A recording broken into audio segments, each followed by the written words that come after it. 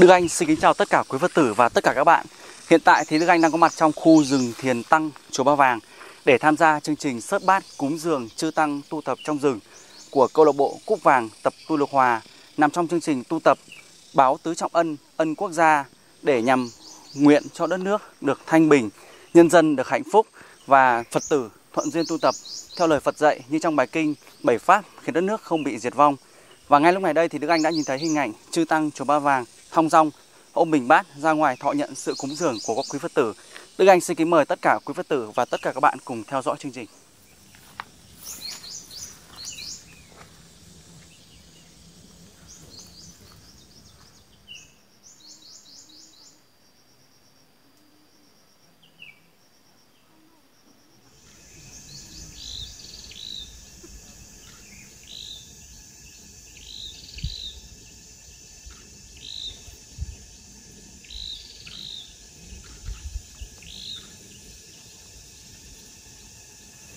Kính thưa quý Phật tử và các bạn, hình ảnh chư tăng chân trần ôm bình bát đi khất thực đã khiến nhiều Phật tử vô cùng xúc động. Chư tăng chùa Ba Vàng là những bậc đang thực hành các pháp đầu đà khổ hạnh như trong kinh Đức Phật đã dạy, mặc ba y, khất thực để sống, ăn bằng bình bát, sống ở trong rừng, ở dưới gốc cây. Quý thầy là những người đang đi trên lộ trình đoạn lìa tham, sân, si, hướng tới sự giải thoát không ràng buộc như các bậc thánh tăng thời Đức Phật còn tại thế.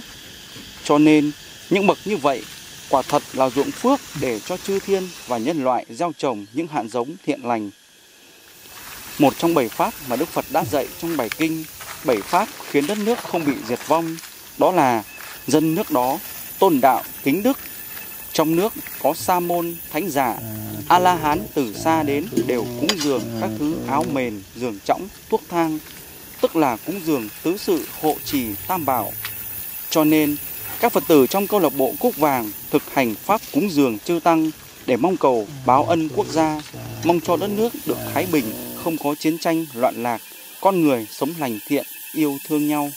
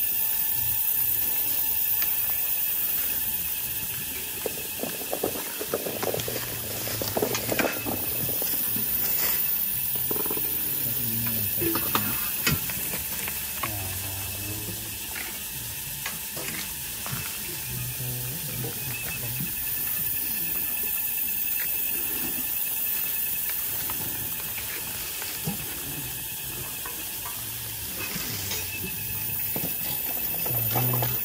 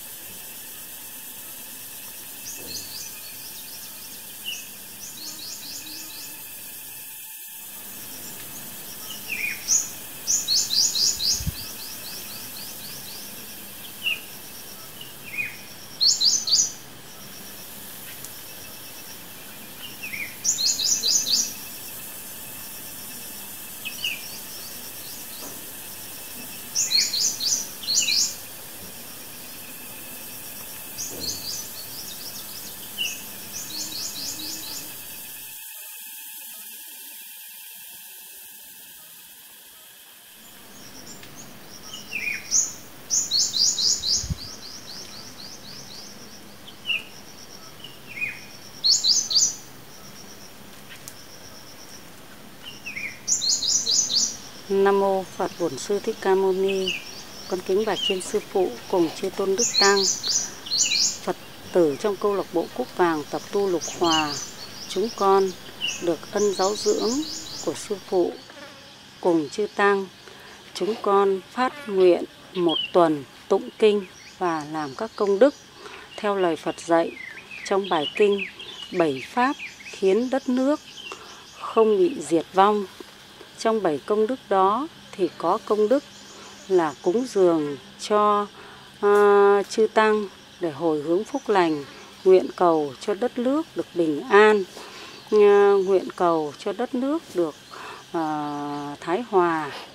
Phật tử chúng con trên dưới đoàn kết cùng trong niệm đoàn kết theo pháp thứ nhất của bài kinh bảy pháp không khiến đất nước không bị diệt vong mà thực hành pháp. Chúng con hôm nay được à, sự à, hoan hỷ hứa khả à, nhận lời à, của trên sư phụ cùng chư tăng thọ nhận vật thực cúng dường của chúng con. Chúng con cũng nguyện cầu cho đất nước xuất hiện được nhiều nhân tài các vị minh quân dẫn dắt cho đất nước được bảo hộ cho đất nước được bình an phật pháp được hưng thịnh chúng con cũng nguyện cầu trên sư phụ uh, trụ thế sa bà dài lâu tứ đại được điều hòa để dẫn dắt cho hàng phật tử chúng con tu tập. Chúng con cũng nguyện cầu bậc thánh sắp sớm xuất hiện ở nơi đời để hoàng dương giáo pháp giữ gìn giáo pháp tế độ quần sinh. Chúng con cũng nguyện cầu cho uh, cha mẹ hiện đời cùng cha mẹ nhiều đời nhiều kiếp cùng thân thân bằng quyến thuộc cùng tất cả các vong linh gia tiên tiền tổ ờ, của chúng con được lương công đức lành này mà sớm vào được trong biển Phật pháp để tu tập. Và chúng con cũng nguyện cầu ờ, được chư thiên, chư thiện thần hộ pháp ủng hộ cho Phật pháp, khiến Phật pháp được tuyên dương và ủng hộ cho người tu tập Phật pháp được thuận duyên tu tập. Con khải bạch trên sư phụ cùng chư tăng chứng minh cho lời mong mỏi nguyện cầu thực hành pháp của chúng con. Nam mô phật bổn sư thích ca mâu ni.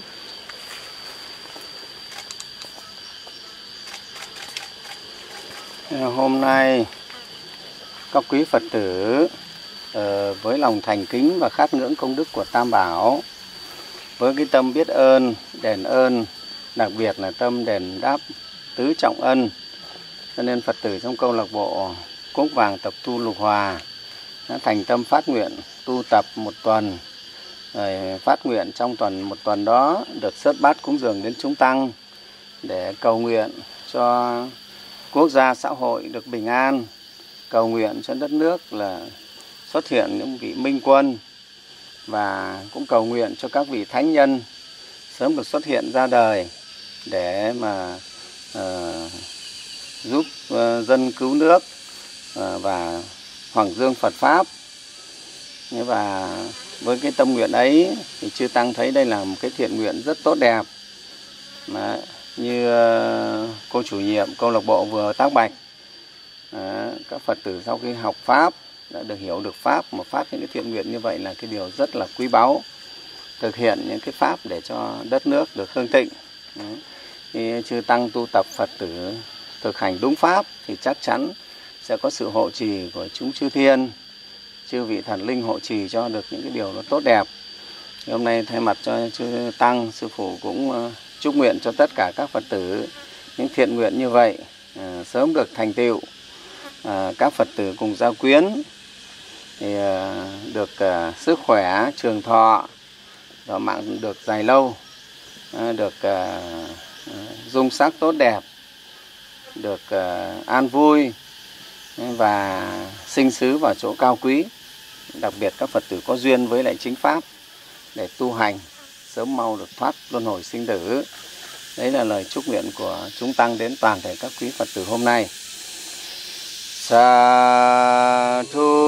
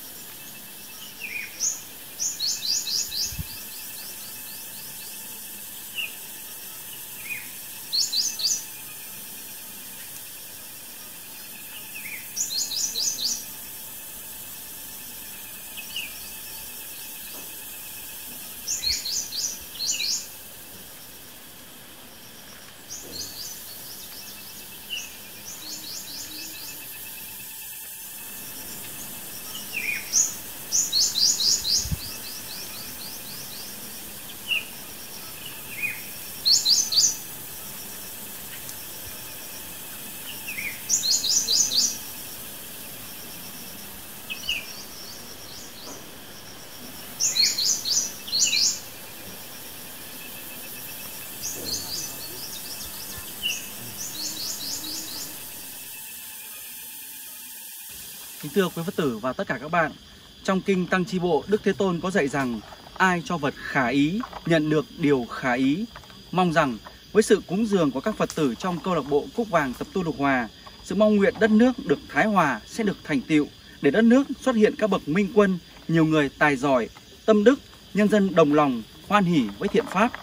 Chương trình xuất bát cúng dường báo tứ trọng ân ân quốc gia vẫn được tiếp tục diễn ra trong các ngày tiếp theo. Xin mời các quý Phật tử và tất cả các bạn chú ý theo dõi. Còn bây giờ, xin chào và hẹn gặp lại.